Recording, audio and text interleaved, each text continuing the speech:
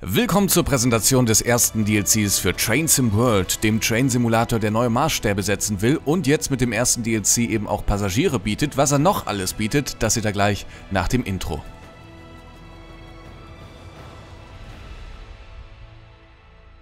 Eine Reise in den Westen. Sie wurden gerufen, um einen Fahrer zu ersetzen, der auf einer anderen Fahrt in Verzug geraten ist. Ihre Aufgabe besteht darin, den Zug nach Reading zu bringen, wo jener Fahrer übernimmt und die Fahrt wie geplant fortsetzt. Okay, das ist unser...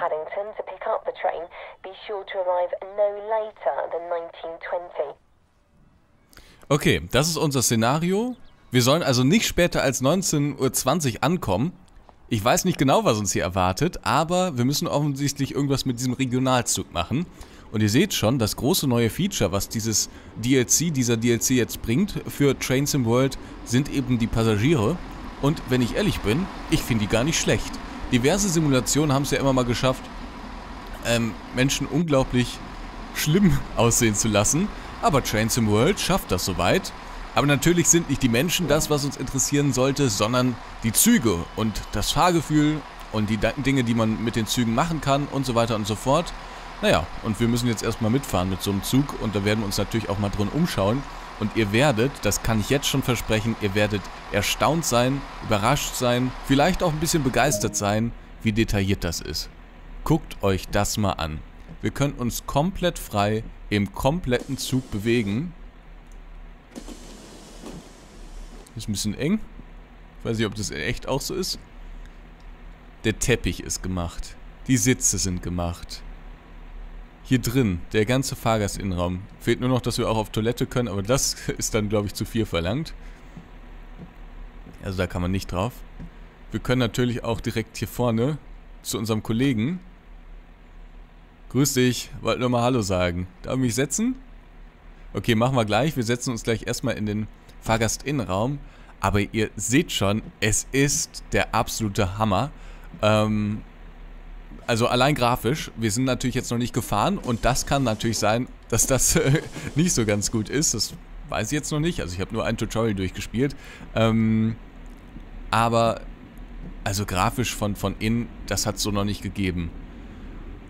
Ich bin zumindest davon auf jeden Fall schon mal begeistert, aber wir werden natürlich ähm, in den nächsten Folgen ein bisschen kritisch auch drauf schauen und werden schauen, dass wir uns äh, möglichst viele Bereiche anschauen und ich bin natürlich auch wahnsinnig gespannt auf euer Feedback.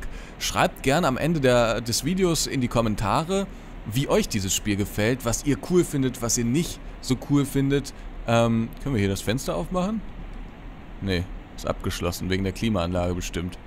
Ähm, da bin ich sau gespannt drauf. Und wenn ihr natürlich weitere Videos davon sehen wollt, lasst da auch gerne ein Like da auf dem Video und äh, genau, dann gibt es bald weitere schöne Videos von Train Sim World, dem Great Western Express. So, ah, wir können uns jetzt erstmal natürlich hier auf so einen Platz setzen, am besten in Fahrtrichtung, die meisten Leute wollen ja in Fahrtrichtung sitzen. So, und dann seht ihr das schon, so sieht das hier aus. Also ist schon was, ist, ist schon wirklich, wirklich cool. Vor allen Dingen das Szenario, dass man erstmal mit dem Zug fahren muss, um dann einen Zug zu übernehmen. So habe ich das verstanden. Ähm, das ist ja ungewöhnlich. Das gab es so in Train, im Train Simulator bisher nicht. Aber es ist natürlich schön, dass man auch mal sowas hat. So. Dass die ihre Hände hier auf der, in der Hose haben, das sieht natürlich nicht so klasse aus. Also das sind so Sachen, die könnte man sicherlich noch fixen. Das sind immer so die Kleinigkeiten, ne? Natürlich sieht das, ist das total cool, dass es hier alles ausmodelliert ist und begehbar ist und so. Aber dass der dann hier seine Hände äh, in dem Stoff der Hose hat, das sieht natürlich ziemlich blöd aus. So, und jetzt gehen wir mal unseren Kollegen besuchen und schauen dem mal über die Schulter. Staff Access Only. Wir sind vom Staff. Grüß dich. Heike. Na, alles gut? Ich setz mich mal. Ah, ne. So. Jetzt. So, da sind wir schon der nächsten. Heike, kannst du schneller fahren? Ich muss um 19.20 da sein. Muss ich einen Zug übernehmen. Ja, ich gebe mein Bestes, nicht? so, das Szenario soll nicht besonders schwierig sein, aber trotzdem Ähm, ist natürlich auch nicht geschenkt, ne? Also müssen schon den Zug dann auch bedienen können. Es werden ein paar Züge mitgeliefert. Ich glaube, Vorbesteller können da auch relativ viel sparen, denn wenn es vorbei ist mit dem Vorbestellerrabatt, dann wird es richtig teuer. Habe ich zumindest auf Steam gesehen. Ich weiß nicht mehr genau den Preis, den es gekostet hat, aber man hat zumindest als Vorbesteller da sehr viel gespart. Ähm, Würde ich euch auch empfehlen, das dann zu machen. Das geht also bis kurz vor den Release. Und dankenswerterweise, dank Dovetail Games, dürfen wir das ja auch schon ein paar Stunden vor dem Release quasi zeigen. Ähm, ja, und das freut mich natürlich und euch freut es vielleicht auch, keine Ahnung, aber ich finde das schon ziemlich klasse. So, fahr! Wir können fahren. Bin sehr, sehr nervös hier. Und auch wie hochauflösend diese Texturen hier sind. Also, wow. Schaut euch das an. Man kann hier die Schrift vom Feuerlöscher lesen. Dieses Kleingedruckte. Das kann man in echt manchmal nicht mal lesen. Und hier läu läuft's. Hier geht das. Machen wir ein bisschen die Sonnenblende runter, ne? Ja, das ist ein bisschen buggy. ah, so. So. Nee, so sehen wir nichts. So. Okay. Wir auch... Also, gefällt mir soweit schon mal sehr, sehr gut. Aber muss man natürlich auch relativ lang drauf warten. Und das ist das große Problem von Train Sim World. Bis irgendwie Content kommt, und das ist ja der erste Content, der jetzt da neben dem Hauptspiel eben kommt, muss man wirklich, wirklich lange warten. Mehr als ein halbes Jahr war es jetzt, glaube ich. Im Februar äh, kam das Spiel heraus, nach zahlreichen Verschiebungen. Für Xbox One weiß man immer noch nicht, wann es kommt. Ähm, es wird irgendwann kommen, sicherlich, aber wann es kommt, weiß man nicht. Das ist ja auch alles schon optimiert. Ihr seht das, man hat ja so bestimmte Tasten und so. Also im Prinzip ist das schon alles dafür optimiert, aber da gibt es irgend, irgendwelche Probleme offenbar noch. Performancemäßig kann ich jetzt nicht klagen hier. Ihr seht, das läuft alles sehr, sehr flüssig. Äh, aber das war ja auch eins der Anfangsprobleme von Trains in World. Und man braucht schon relativ gute Hardware im eigenen PC, um das eben flüssig spielen zu können. Also es sind alles so Punkte. Perfekt ist das wirklich nicht, aber die Entwickler haben sich zum Ziel gesetzt, neue Maßstäbe zu setzen und zumindest im Bereich der Zugsimulation könnte ihnen das auch gut gelingen. Wobei sie natürlich auch vorher schon Marktführer waren und da jetzt auch relativ leichtes Spiel haben, sage ich mal. Also sie wollen sich selbst halt übertrumpfen. Oder übertreffen. So. Aber bis wir selbst da mal wirklich fahren, scheint es ein bisschen zu dauern. ich bin unglaublich gespannt auf euer Feedback. So, 2,6 Meilen noch.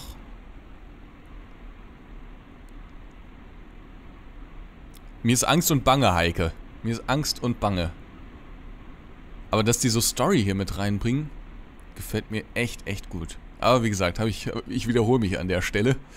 Ähm, es gibt dann auch noch diesen Schnellzug und einen Güterzug. Ähm, ja, und das Wichtige ist eben, dass die Passengers jetzt dabei sind. Und ich hoffe, dass Dovetail Games jetzt bald auch mal dann die Entwicklertools freigibt oder sich zumindest mit ein paar externen Entwicklern zusammensetzt und sagt, okay, let's go. Und ähm, dann auch mal eine deutsche Strecke rauskommt, das vermisse ich noch so ein bisschen. Aber immerhin, die Richtung stimmt ja. Von den USA nach ähm, Großbritannien ist ja schon mal so ungefähr. Und wenn es dann weitergeht nach Deutschland, vielleicht meinetwegen noch über Frankreich und dann nach Deutschland, dann wäre es super. Irgendeine Strecke in Nordrhein-Westfalen würde ich mir wünschen. Aber es ist auch sehr schwierig umzusetzen, ähm, weil da natürlich wahnsinnig viele Gleise verlegt sind. Also irgendwie so oder Hamburg ist auch cool. Das gab es ja im Prinzip die Strecken, die es schon für den Train Simulator gab. Und da vielleicht noch ein paar Schippen drauflegen. Und dann mit dem ICE fahren. Mit diversen Baureihen, die noch im Einsatz sind. Mit dem neuen Doppelstock-IC. Das wäre ja vielleicht was für Trains in World. Obwohl die sich jetzt nicht zum Ziel gesetzt haben, immer das Modernste vom Modernsten zu machen. Ähm, die wollen mehr so die Ikonen abbilden, wenn ich das richtig verstanden habe. Und auch dieser IC, den man hier fahren kann, dieser Schnellzug, das ist auch nicht mehr der modernste, sage ich mal, in Großbritannien. Ähm, und da stand auch in einem Artikel, von den ich auf trainsimulator.com, glaube ich, gelesen habe, dass der auch ersetzt werden soll. Mhm. Bei äh, von neuer, von neueren Baureihen. Ich glaube 800 also. So, 0,9 noch. Aber hier sind auch schon viele Gleise. Also eigentlich scheint es technisch dann schon möglich zu sein. Aber die hat ihre Hände irgendwie nicht an den Hebeln, ne? Ich finde halt ein bisschen schade, dass die nicht reingelaufen kommen und sich dann auch setzen, die Passagiere, sondern so aufploppen wie beim Train Simulator. Das wäre so ein Wunsch, den ich noch hätte, um das halt so zu komplettieren. Weil jetzt ist man schon so weit, dass man das alles richtig schick äh, erstellt hat. Und dann fehlt halt noch das. So. Wir kommen immer näher und immer näher und immer näher mit der Regionalbahn. Bin ich mal gespannt auf den Kollegen. Beziehungsweise auf den Zug, den wir da übernehmen sollen, weil der Kollege ja irgendwie ausgefallen ist.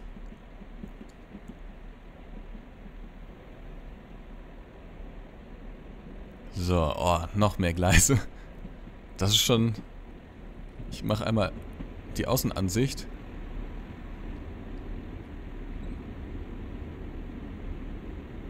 Ah, ich glaube, da vorne steht er schon. Die Ansichten kennt man schon. Ja. Da sieht man auch nochmal schön, was das Spiel grafisch zu bieten hat. Und das ist wirklich einiges. Und ich kann mich über die Performance wirklich nicht beschweren. Also, das läuft wirklich gut. So. Tschüss, Eike. Ich gehe schon mal wieder. Mach's gut. Äh, gute Schicht noch.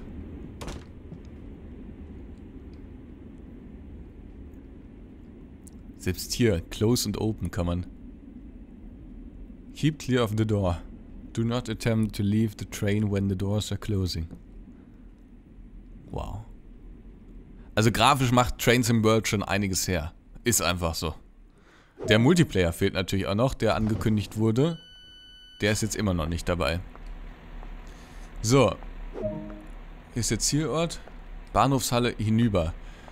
So, und das ist ja auch eine Sache, die man in Trains in World jetzt hier präsentieren will. Endlich ist es möglich, sich frei zu bewegen und man sieht, was, was man damit alles machen kann. Dass die jetzt hier so blöd rumstehen, das finde ich natürlich wieder nicht so gut. Aber, dass man sich hier frei durch den Bahnhof bewegen kann, das ist schon mega. So, da hinten sollen wir dann hin. Wir rennen mal, wir haben es ja eilig. Spätestens 1920 sollen wir da sein.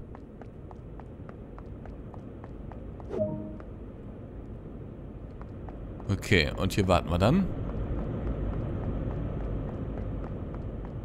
Und das ist da vorne. Wir werden es sehen. Mal schauen. Ja, ich glaube, wir fahren hier diesen Schnellzug. Rennen wir mal hin. So. Und dann... Ja, müssen wir hier vorne einsteigen, tatsächlich.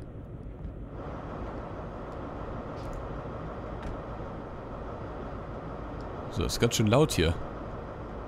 Uiuiui. So, setzen wir uns hin. Und jetzt müssen wir die erforderlichen Bedienungselemente einstellen. Wir müssen den... Äh, Moment. So, vorwärts. Dann müssen wir hier das Spitzensignal Hecklichter... Moment.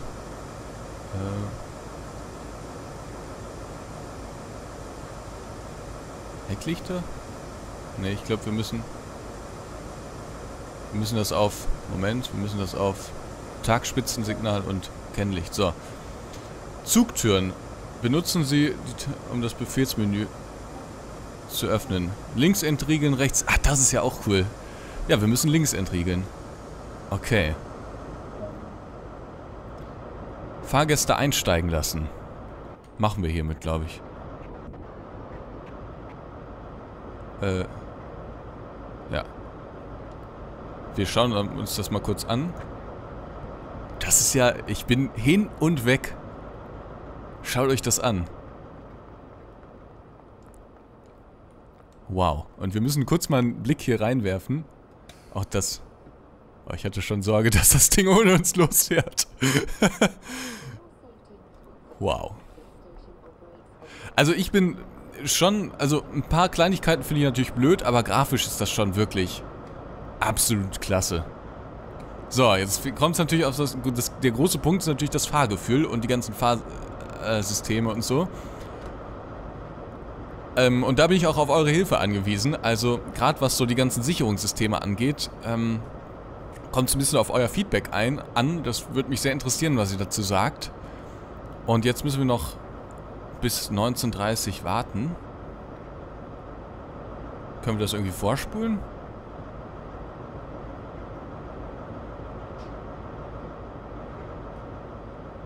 Hm. Wait until 1930. Ja gut, ich würde sagen, ich mache an der Stelle, glaube ich, einen kleinen Cut. Jetzt die ganze Zeit zu warten, ist, glaube ich, Quark. Und dann sehen wir uns gleich wieder nach dem Cut. Ähm und dann setzen wir das Ganze gleich in Bewegung. also, bis gleich. So, mittlerweile ist es fast ähm, 19.30 Uhr und ich wollte die Gelegenheit gerade nochmal nutzen, um auszusteigen und nochmal so ein bisschen durch die Wagen zu streifen und auch hier nochmal zu schauen, wie, sie, wie sehen die denn eigentlich aus?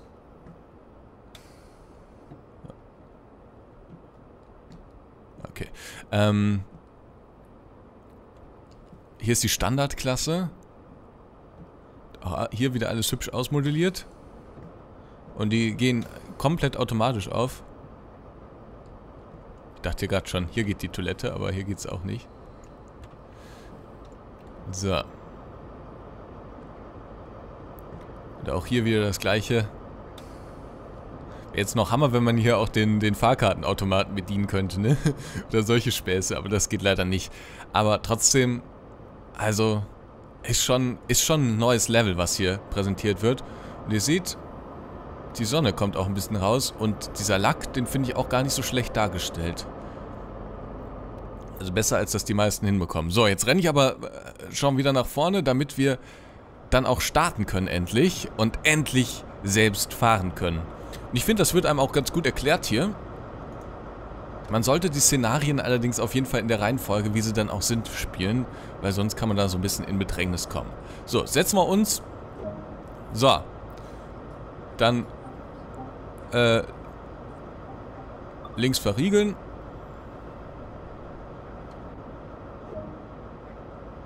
So, das ist jetzt passiert. Und dann jetzt das Wachsignal betätigen. Ähm, ich glaube, ging das noch gleich mit... Ne, das war das Falsche.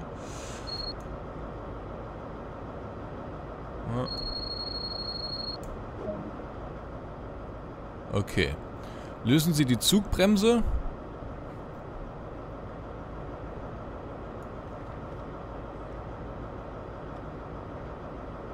So. Ist gelöst. Und dann geben wir jetzt mal Schub.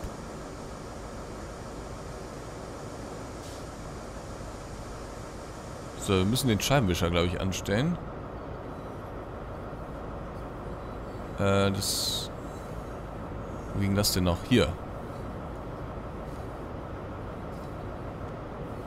Nein, so. Damit wir auch was sehen. Und wir fahren, Leute. Wir fahren. wow. So, das ist natürlich schon irgendwie was anderes als im Train Simulator. Ähm, wobei das im Train Simulator auch keinesfalls schlecht dargestellt ist. Aber... Oh, wir müssen gleich anhalten. Aber... Das ist hier nochmal mit den ganzen Knöpfen, wo dann auch wirklich alles bedienbar ist hier. Das ist schon nochmal eine andere Qualität. So, wir machen mal die Leistung auf 0 und werden dann gleich schon wieder am Signal anhalten müssen. Wir gehen schon mal auf die Ausgangslage. Na, wir müssen ein bisschen stärker bremsen. Noch stärker. Stopp, stopp, stopp, stopp, stopp.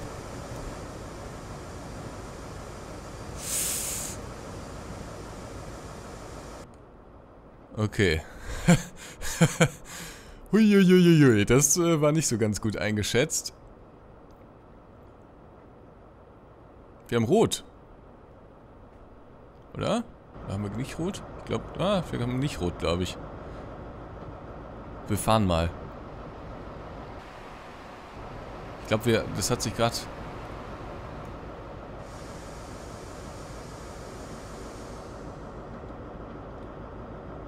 Schauen wir mal.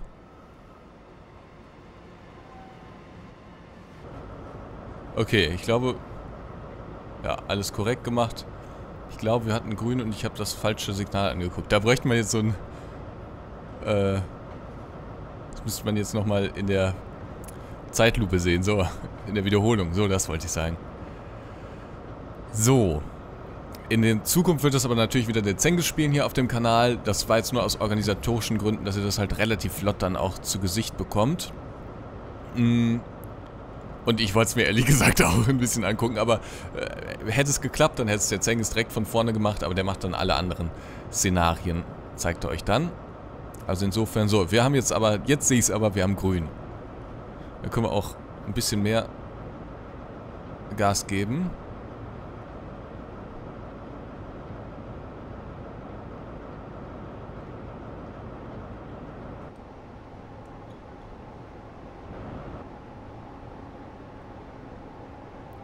So. Okay, ich glaube, die Signale werden hier sogar als solche angezeigt, als grün oder rot. Na, dann können wir wesentlich mehr Gas geben. Das hier, das ist nämlich der Dieseltriebwagen von dieser IC-Reihe. Ähm, und der hat, glaube ich, wenn ich mir das richtig aufgeschrieben habe, 2250 PS. Wiegt 70 Tonnen und das ist schon eine ganze Menge. Aber mir ist der Fehler, den ich gerade unternommen habe oder der mir da unterlaufen ist, äh, ein bisschen peinlich, muss ich sagen.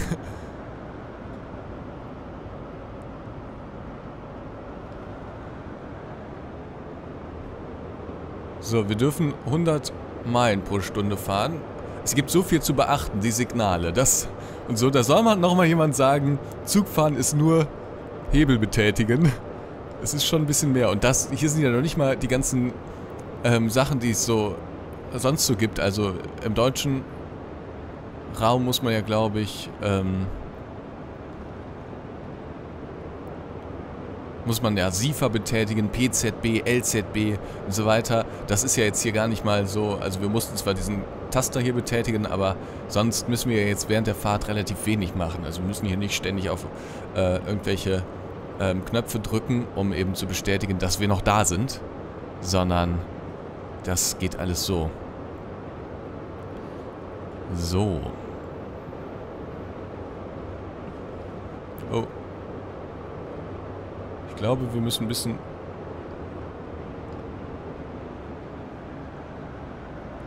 Abstand nehmen. Ich glaube, wir sind ein bisschen flott unterwegs. Obwohl, nee, jetzt haben wir... Jetzt dürfen wir... 100, okay. Und in... Ah, okay. Ich verstehe, ich verstehe. Mensch, Ansgar, lass das lieber den Sänger. Ja, ja, auf jeden Fall. Also, der macht es dann, fährt dann die restlichen Züge. Und ich, wie gesagt, ich hoffe, dass da bald auch neue Inhalte für erscheinen werden. Das wäre auf jeden Fall sehr, sehr, sehr, sehr cool. So. Dann geben wir mal mehr Gas. Und ziemlich bald dürfen wir ja dann auch schon 125 Meilen pro Stunde fahren. Ähm, ja. Der Tacho hier geht bis 140. Schon. So, und hier sieht man es jetzt nochmal, wie cool das dann auch während der Fahrt aussieht das so hinzubekommen, dass das so gut läuft. Ich habe die Grafik jetzt auf Ultra eingestellt. Ähm, und dass das so läuft und man sieht auch richtig, wie schnell das Ding ist. Also es ist richtig gut auch irgendwie hin, hat, hat man richtig gut hinbekommen.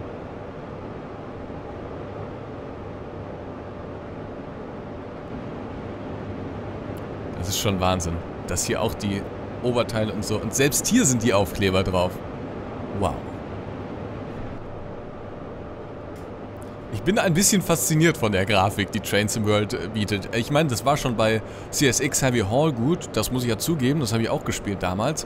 Aber ähm, man sah halt noch nicht die Passengers und man sah noch nicht wirklich City. Und hier sieht man City und das sieht grandios aus. So, ich glaube, jetzt sollten wir langsam...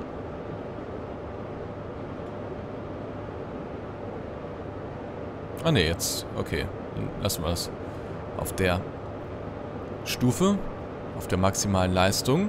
Wir müssen noch 30 Meilen fahren. Ich würde aber sagen, wie wir das machen, das seht ihr dann in der nächsten Folge.